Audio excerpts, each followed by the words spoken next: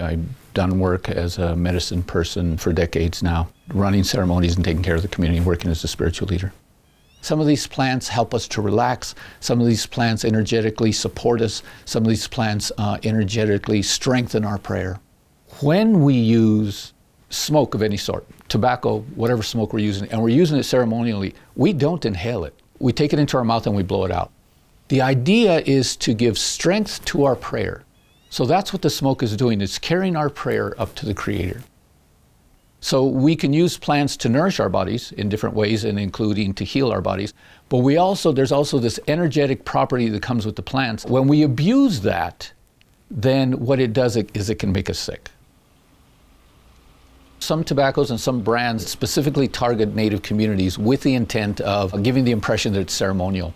And what happens with that is people end up rolling, rolling their own cigarettes and smoking it and feeling somehow or the other that they're being ceremonial, they're being spiritual, or they're, they're talking to God.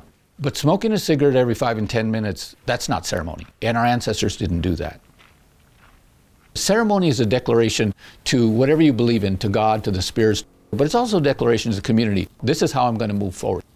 That's ceremony. Harming your body is not power.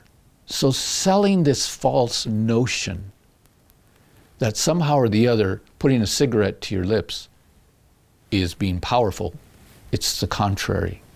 You've been subjugated. The real revolution is to say no. I will not do that to myself because that's how you would like to continuously harm me. I'm going to do something different, and I'm going to instead do something for myself, for my family, and for my community.